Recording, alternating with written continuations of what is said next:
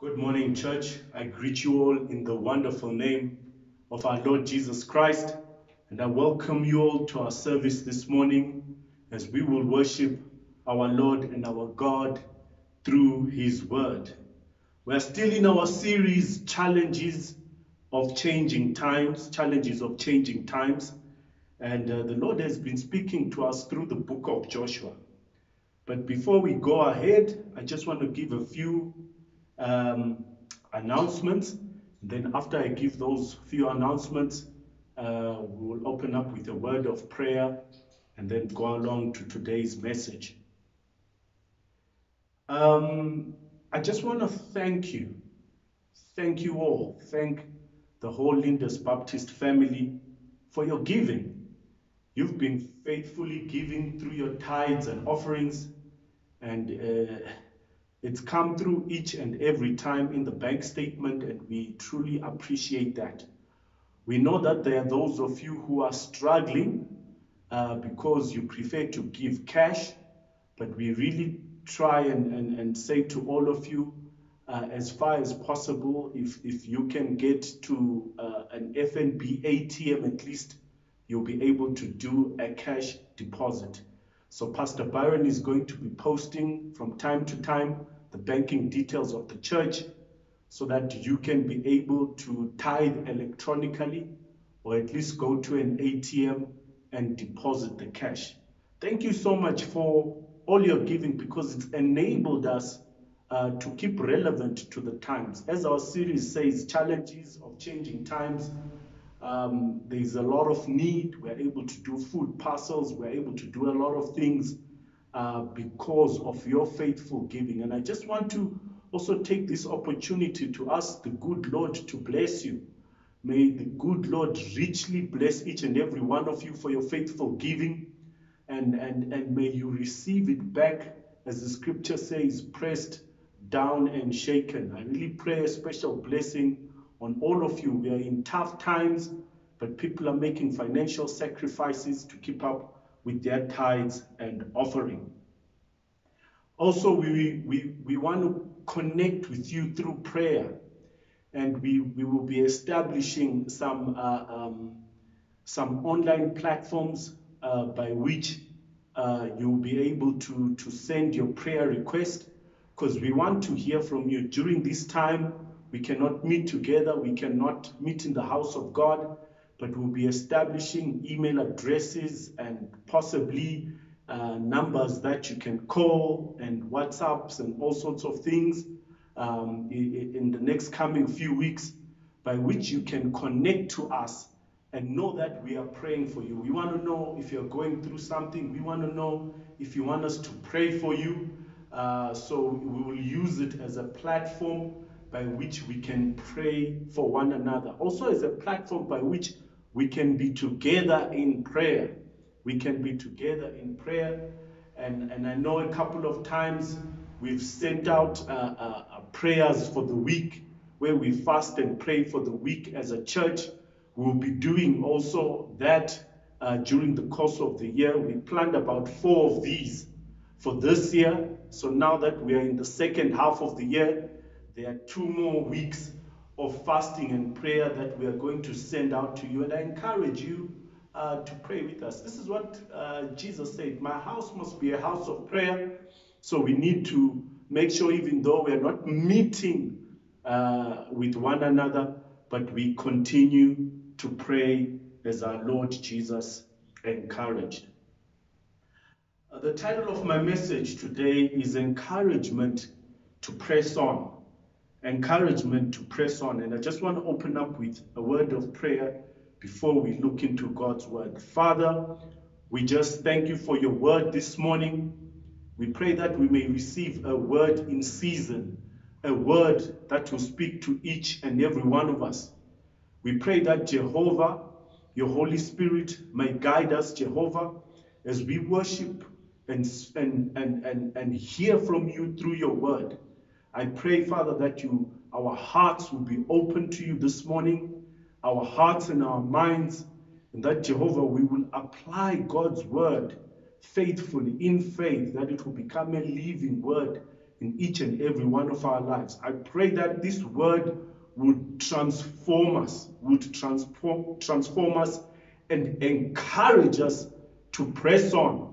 Because we see that from time to time in the scriptures, we need encouragement to press on. I pray that each and every one of us who hears this word this morning will be encouraged to press on. May you receive all the glory, praise, and honor this morning, Father, as we bring our service before your throne of grace. In the name of Jesus Christ of Nazareth, I pray. Amen. Encouragement to press on. The first scripture that I have is comes from Joshua chapter 5, and I'm taking it from verse 13 to verse 15. It reads as follows. Now, when Joshua was near Jericho, he looked up and saw a man standing in front of him with a drawn sword in his hand. Joshua went up to him and asked, Are you for us or for our enemies? Neither, he replied, but as commander of the army of the Lord, I have now come. Then Joshua fell face down to the ground in reverence and asked him, What message does my Lord have for his servant? The commander of the Lord's army replied, Take off your sandals, for the place where you are standing is holy. And it says, And Joshua did so. And Joshua did so. So we want to have encouragement to press on. But I want to read as well from First Corinthians 15, and that's verse 58. First Corinthians 15, verse 58. And it reads as follows Therefore, my brothers and sisters, stand firm. Let nothing move you. Always give yourselves fully to the work of the Lord, because you know that your labor in the Lord is not in vain. This is Paul writing to the Corinthians, 1 Corinthians 15 58. What is Paul saying? And what can we read from this passage of scripture in Joshua? Paul there says, Stand firm, stand firm. If you are to press on, you cannot be going backwards.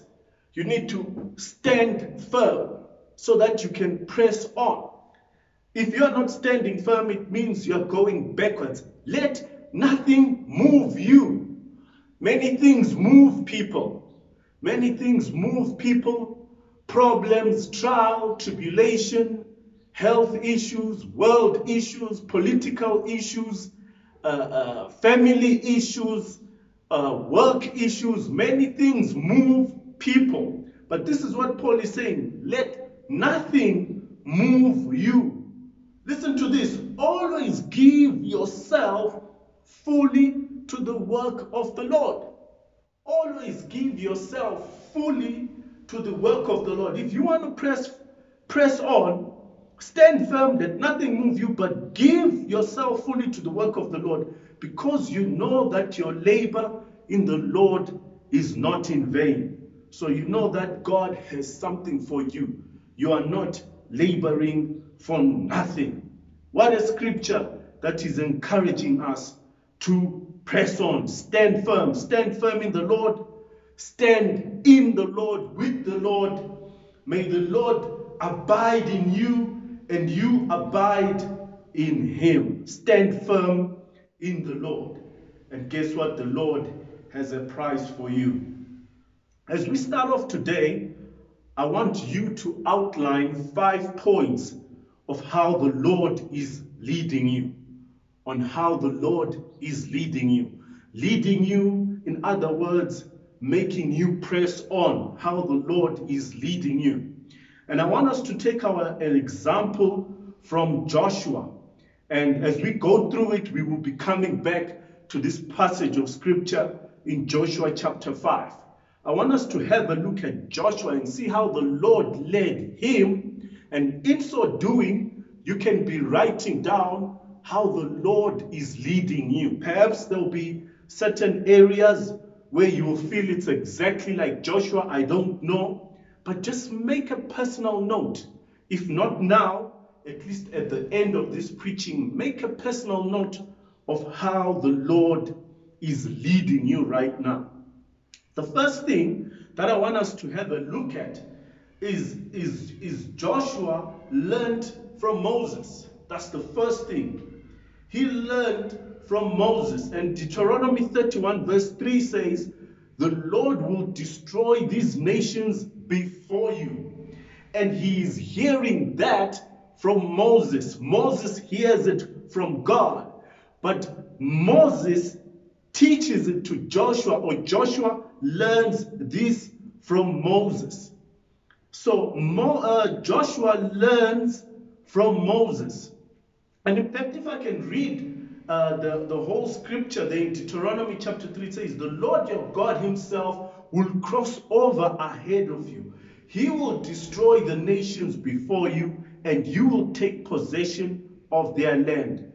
Joshua also will cross over ahead of you as the Lord has said. So the Lord will destroy these nations before you.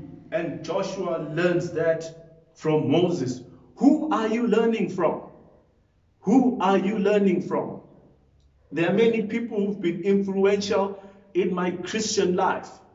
And as I stand before you as a pastor, it's testament to the leadership of our elders.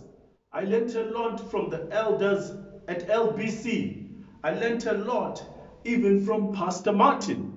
But there were people previously in my life who also had an influence, who taught me certain things. And one of the things I learned from my father was the power of prayer and the importance of prayer because he was a man of prayer. And I learned that I must pray on all occasions and at all times and in all situations. And so I learned that from my father. So learn godly things from someone who's godly. Why I say godly is because if the person is ungodly, then you will not know or learn the ways of God. And sometimes you, you, you, you need to check who are the people who, who are influencing. It's not necessarily learning, but influencing your Christianity. And check the credentials of those people. Are they really people of God? So it's important to learn from somebody. It's important to have an example, especially if it's in an area or the person has had an expertise in the ministry that you are involved in. So go and learn from those people as Joshua learned from Moses. But he learned this and he held on to it that they will destroy the nations before them. So Joshua held on to that and he learned it from Moses. The second thing that I want to discuss concerning Moses, I mean Joshua, is he received the promise. The Bible is full of promises. He received the promise. In Deuteronomy 31, verse 8, the Lord goes before you and will be with you, and he will never leave you nor forsake you. Do not be afraid. Do not be discouraged. We're speaking of encouragement. Here it says, do not be discouraged. But it goes on as well there before to say, do not be afraid. And Joshua claims or holds on to this promise promises in Deuteronomy by Moses, promises in the Word of God, and he trusts these promises and he uses the promises and holds God to his promises as he is entering the promised land. I want to say to you, have a promise from God's word. Have a word in season. There is something that is there in the Bible. There is a promise there is a word, it speaks to you, it speaks to your life, it speaks to your situation. Grab that promise, receive that promise, because our God's word is a living word. It's a living word, and it is active. As you receive that promise and trust God for that promise, then that promise will come through for you. As I'm speaking about promises, I think for me, Hebrews 13, verse 8, I don't know what it is about Hebrews 13, verse 8. It says, Jesus Christ is the same yesterday, today, and forever. And somehow, when I read Hebrews 13, verse 8, it's like I see the whole Bible coming alive. I see everything becomes much clearer. There is a certain strength all of a sudden that I receive, knowing that Jesus Christ is the same yesterday, today, and forever. And I claim that and am able to apply that to my life and my ministry. So I say to you, just get a word. There is a word, there is a promise in the Bible. Take that word, take that promise, and, and, and, and apply it to your life and see what God will do for you. The third point is Joshua knew God's presence in his life. And you need to know God's presence in your life. It says there in Joshua chapter 1, verse 5 As I was with Moses, I will be with you. As I was with Moses, I will be with you. And I want to say to you that God is with you as well. The God who was with Moses, the God who was with Joshua, is still with you today. Know God's presence. Claim God's presence in your life. I do this very often. I claim the presence of God because sometimes it may not feel like it, but no, no, he knew, no, God's presence in your life and know that he is there for you. The fourth thing is Joshua took up the challenge. Joshua took up the challenge. It says in Joshua chapter 1, verse 10 so Joshua took charge and ordered the officers. So God is handing over to Joshua after Moses. But Joshua takes charge. He takes charge and starts to command and order the officers. In other words, he gets things going, he gets things done. God has given you an instruction. God has given me an instruction. God has given us burdens or ministries. Take charge. Take charge because it is coming from God. Take charge, take up the challenge, and go with it. And that's one of the things that Joshua does. He takes up the challenge immediately. So I say to you, don't wait. It doesn't say that Joshua thought about it. Joshua, after a year or two, was still contemplating about it. It says Joshua took up the challenge. Once God has given you a burden or a ministry, once God has given you work to do, do it. Take up the work, take up the challenge. Do it that God may receive all the glory, praise, and honor. The fifth point that I want us to learn from Joshua today is that Joshua actually crosses the Jordan. This is Joshua chapter 5, verse 1.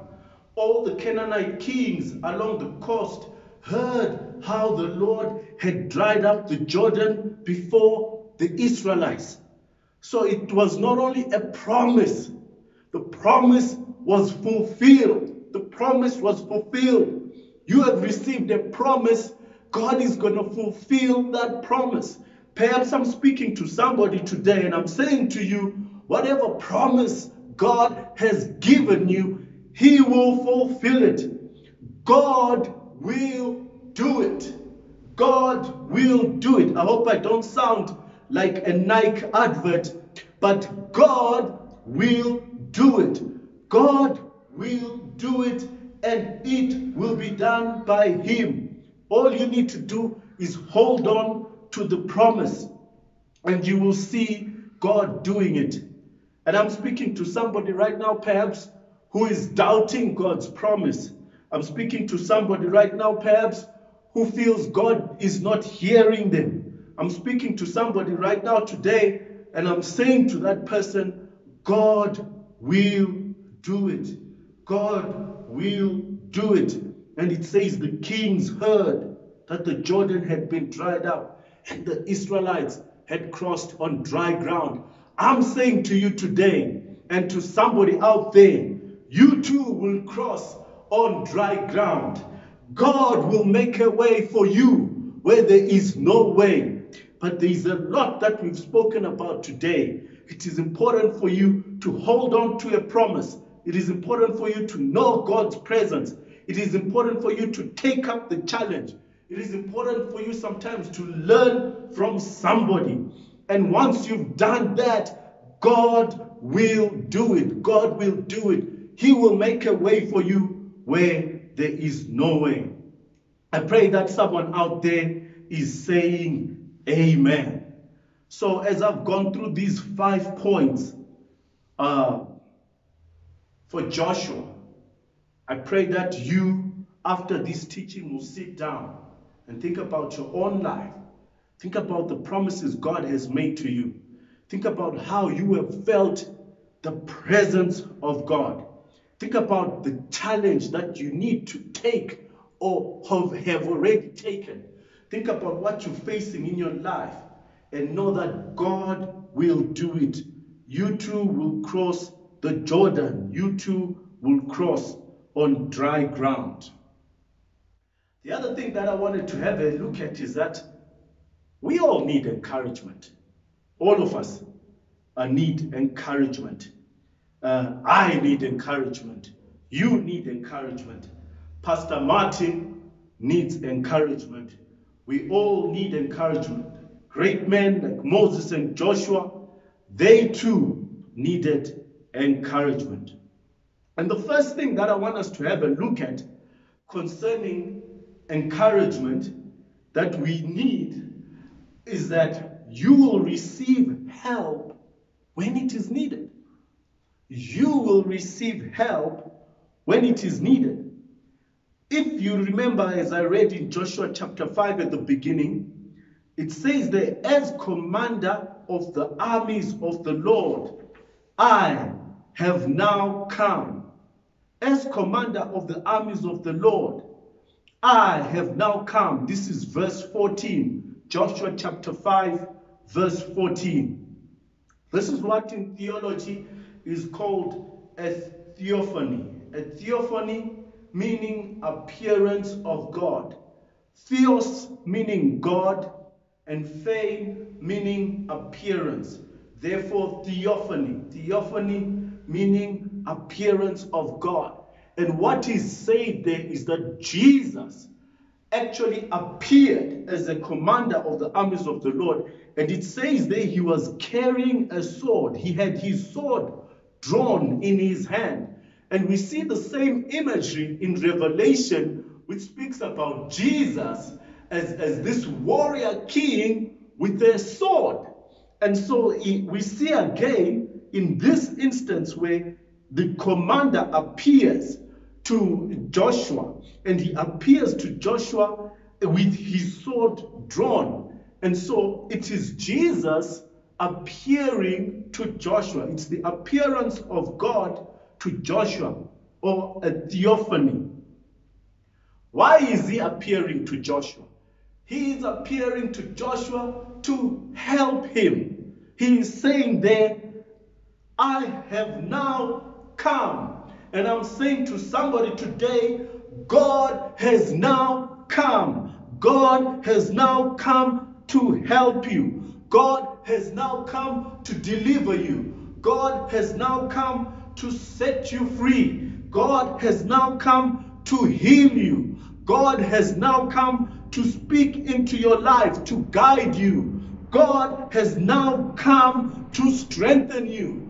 God has now come to give you instruction. I'm saying to somebody out there today, God has now come.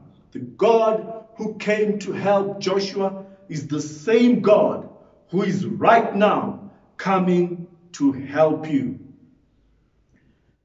When we speak of help, I think of Elisha. Elisha had to show his fearful servant how the armies of the Lord had surrounded him, surrounded them. It says there in 2 Kings, uh, verse 6, I mean chapter 6, 2 Kings chapter 6, 17 to 20, and I'm reading verse 16. It says, Don't be afraid, the prophet answered. Those who are with us are more than those who are with them. And Elisha prayed, Open his eyes, Lord, so that he may see. Then the Lord opened the servant's eyes, and he looked and saw the hills full of horses and chariots of fire all around Elisha. As the army came down towards him, Elisha prayed to, Lord, to the Lord, struck the army with blindness. So he struck them with blindness as Elisha had asked, and the story continues. Perhaps the Lord hasn't opened your eyes. Perhaps you haven't seen these chariots of fire, horses and chariots of fire around you. What am I saying? Perhaps you haven't seen God's protection. But know this know this God is there, God is protecting you. God, who was around Elisha and his servant, is around you. Hence the prayer from Elisha open his eyes so that he may see. And sometimes it's not important to see, but it is important to believe. So I say to you, believe, believe that God is there, right by your side, helping you and protecting you, because indeed He is there. But many of us, like Elisha's servant, want to see. If we haven't seen, we don't believe. But I put it to you believe, believe that Jesus is with you because indeed He is with you and He will be with you till the end of the age. I'm also reminded of Paul. Paul was visited by the Lord in prison. And sometimes you, you are trapped. You can't escape. Uh, you feel bound. You feel bound. You feel imprisoned by all sorts of things. But this is what the scripture says in Acts 23, verse 11. The following night, the Lord stood near Paul. The following night, the Lord stood near Paul. What am I saying? I am saying the Lord is standing next to you. The Lord who stood next to Paul is also standing next to you. In a time when Paul was in prison, in a time when he was locked up, in a time where his freedoms, and I use that word on purpose because we are living in times because of COVID, we are not free. In a time where our freedom has been restricted, but the Lord stood near Paul. And I pray that there is somebody out there who would cry out to the Lord, and the Lord will stand near that person. But what I'm putting forward to you is that the Lord is standing next to each and every one of us. He's right there, He's never gone. Just because you've never seen Him, like in Elisha's servant's case, it doesn't mean He's not there. He is right there with you. May the God who stood with Paul stand with you also in your time of need.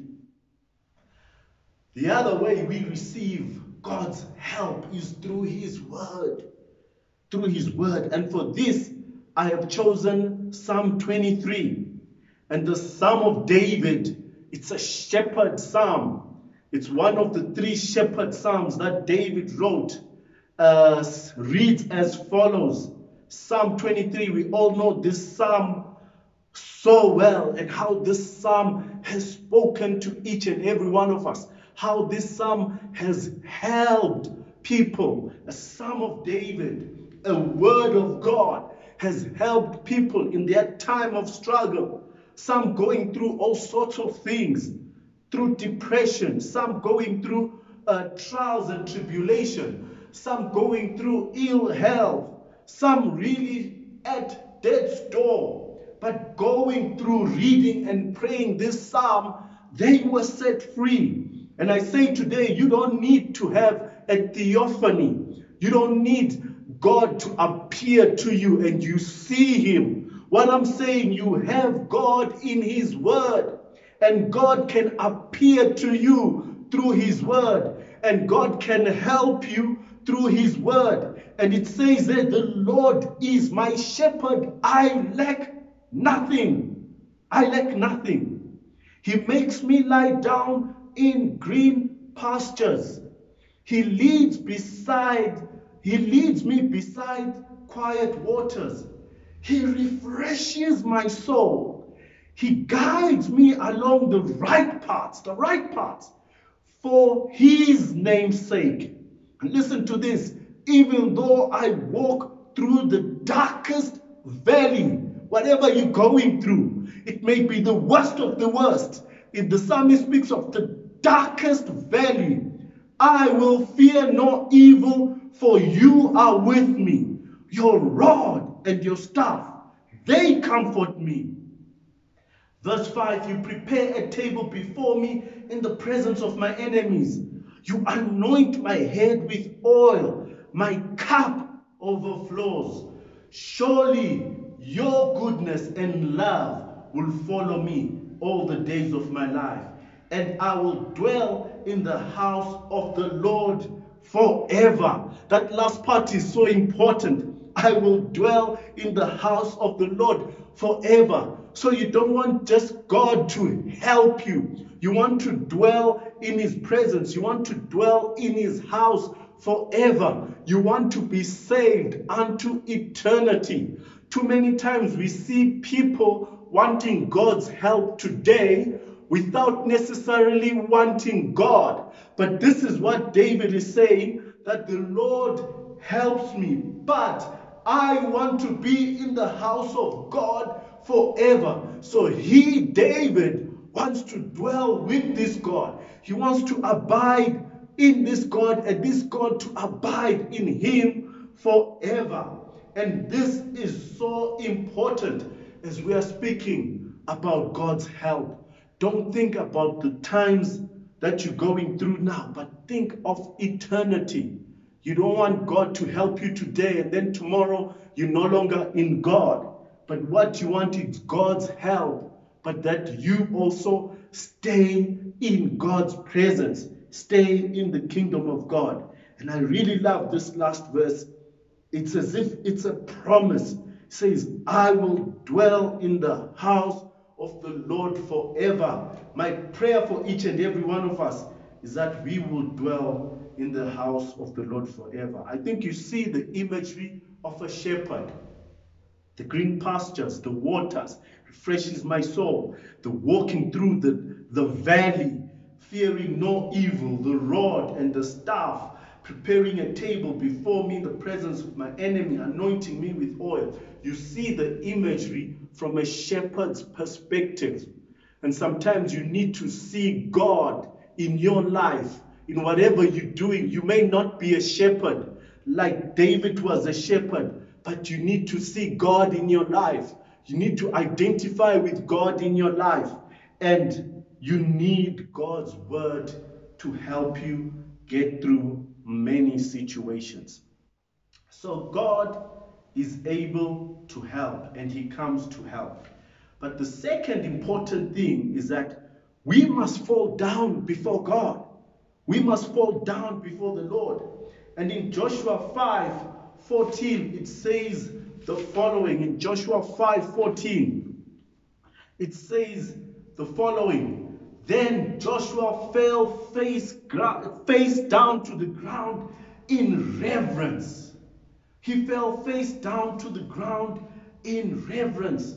You need to fall down before the Lord. And I'm reminded of John, Apostle John in Revelations 1, verse 17. He says, When I saw him, this is the first chapter of Revelations, I fell at his feet as though dead. In the first chapter of Revelations, when John sees God, he falls on his feet as though dead. This speaks to me about complete surrender, complete reverence for God. Reverence for God unto death. You surrender all to Him. You commit yourself to Him. You acknowledge Him. And this is so important for God because those who acknowledge Him, He will acknowledge them. You acknowledge Him as King of the universe. You acknowledge Him as Lord and Savior. You acknowledge Him as God Almighty. And you lay it all to Him. You fall down. You fall down. You give yourself as a living sacrifice for Him to do what He will do with you. Trust the Lord, commit and surrender in reverence yourself fully to God.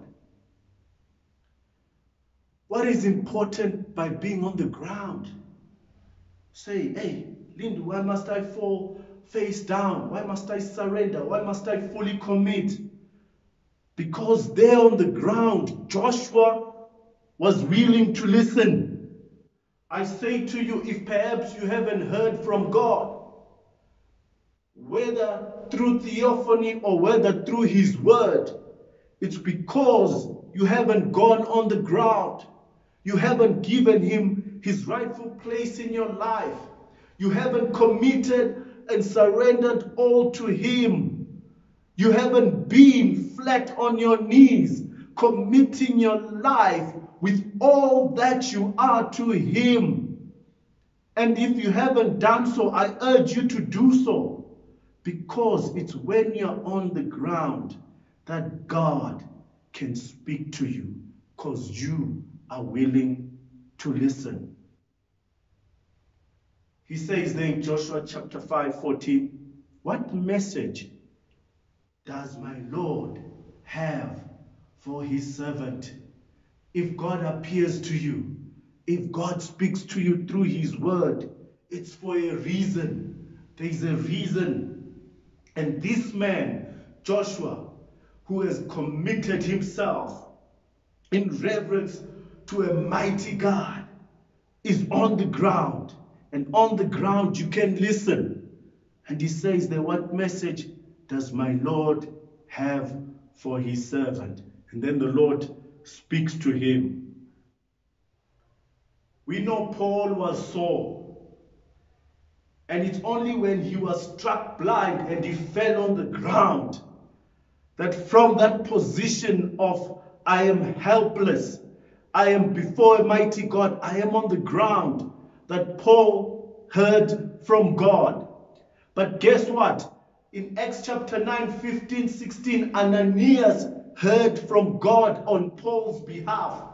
And because Paul had had that humbling experience on the ground where he experienced God and saw Jesus for who he really is, and that's important to get you on the ground. You need to see who God is. You need to understand who He is.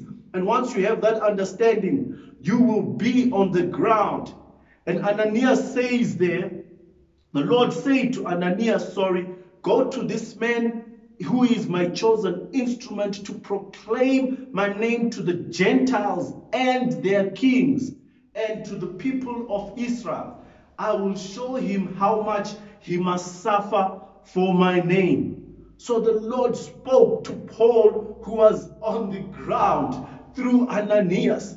And this word that Ananias gave Paul sustained Paul in his ministry. He knew that he is going to suffer for the name of Jesus. And because he knew he was going to suffer for the name of Jesus, it gave him strength and encouragement to press on. We too, like Paul, may suffer for the gospel of Jesus, but we too, like Paul, must press on. We must press on because Jesus suffered for us. And if the Son of God could suffer, who are we? We will not be exempt from suffering. And we must persevere and suffer on because God already knows. And if God already knows we will suffer, God will provide the strength for us to go through and succeed. Paul found this after being struck blind and being made low. What am I saying? Sometimes God will humble you. God will lower you before himself. This was the experience of Paul when he was Saul. But the best thing is for us to see God for who he is. And we lower ourselves and humble ourselves, worshiping him in truth and in spirit, in reverence to this mighty God. We come before him. And as we do so, we will be at that point where he can speak and we can listen. The third thing that is important is we must experience the presence of God. Joshua chapter 1 15, it says, Take off your sandals, for the place where you are standing is holy. The place where you are standing is holy. Experience the presence of God. If we remember, this happened to Moses as well. The burning bush. Moses saw the burning bush, and he too was told to take off his sandals because the ground where he was was declared holy. I am saying to you, wherever you are, God can take take that place into or turn that place into holy ground so that you may experience the presence of God. It doesn't matter where you are. Right now, we are not meeting in the church. You don't have to be in the church to experience the presence of God. I'm saying to you, wherever you are, you can have that experience. You can experience the presence of God wherever you are. And through the testimonies of many, many are experiencing the presence of God where they are. Many are experiencing God at work in their lives, at home, at work, in their community. And I'm saying to you, you can experience God's presence wherever you are. So don't be discouraged by your geographical location. Know that God can meet you there. And this is very important because you cannot move forwards without you personally experiencing that presence and that power of God. You need to personally experience that presence and that power of God. I pray that those who haven't experienced this presence and this power of God in today's message and right now, they would have that personal experience with God as we meditate through the book of Joshua that they or you can have that experience. Experience His presence and experience His power. Church, what can we say to all this? What can we say to all this?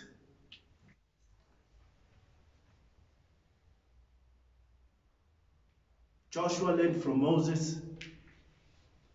Find someone godly to learn from. He received a promise. Get a promise from God's word. Just receive a word and hold on to it. Uh, a word that speaks to you, speaks to your life. Also, Joshua knew God's presence in his life. He knew God was present in his life. Know that God is present in your life. Joshua took up the challenge. Take up the challenges for the kingdom of God. And moreover, moreover, Joshua crossed the Jordan. God will do it. Whatever you're going through, whatever promise God has given unto you, God will do it. In conclusion, you are on the way. But listen to this accept God's encouragement and press on. You are on the way. Accept God's encouragement and press on. Let us close with a word of prayer. Father, we thank you.